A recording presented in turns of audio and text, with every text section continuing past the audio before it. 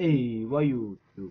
Okay guys, this is me, SWQGLD, and today we're going to show you a new way on how to freeze George in Call of the Dead.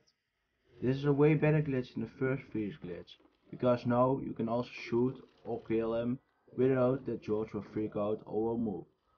So first what you need to do is make him angry like I just did. And then run to the water slide and then just do the same thing as normal with the VR11.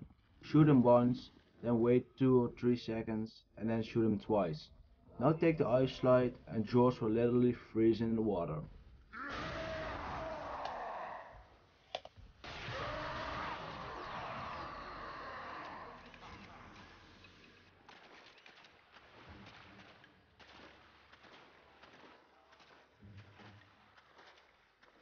Okay, that one was easy, but there's also a way on how to do this on multiplayer.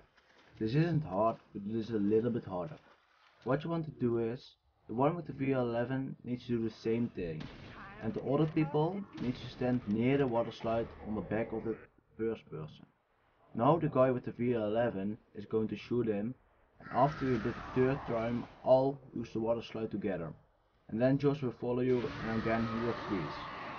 So I hope you enjoyed this video Please hit the subscribe button if you didn't yet, give it a like and leave a comment about how awesome you think it is.